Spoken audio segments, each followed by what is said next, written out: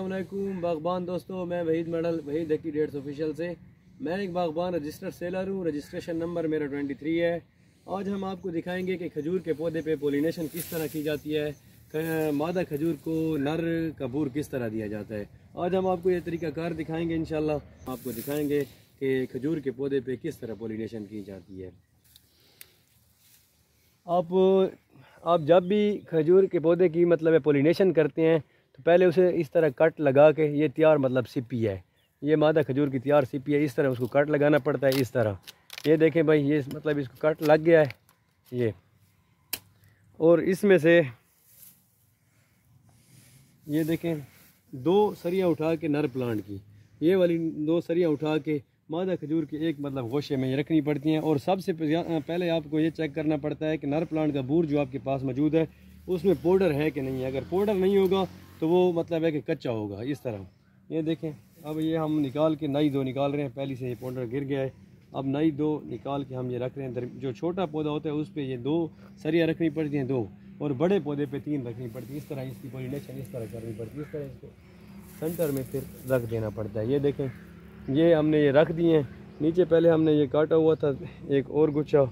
उसमें भी हम ये दो रख रहे हैं। सबसे पहले चेक ये करना चाहिए कि इसमें पाउडर है या नहीं है। बस ये, इसकी ये पोलिनेशन ये इसका तरीका कार है। ये देखें जी बागबान दोस्तों, ये तरीका कार है पोलिनेशन का। ये इस तरह मादा खजूर की जो सिपी होती है मतलब जो गोशा होता है, गुच्छा, उसको इस तरह काट के मतलब कट लगा के, उसके बाद अगर छोटा पौधा है तो इस तरह मतलब है दो सरिया उठा के नर प्लांट की। ये देखें, ये नर प्लांट की दो सरिया मैंने उठा ली है। अब ये इसके सेंटर में मैं ये रख रहा हूँ। इसकी ये जगह बनी हुई है। ये देखें।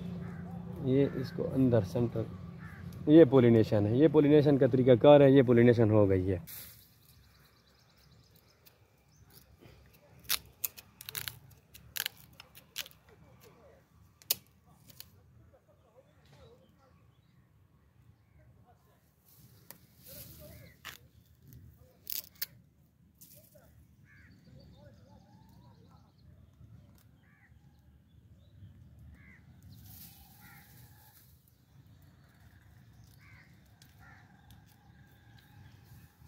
ये पोलिनेशन का तरीका कार है।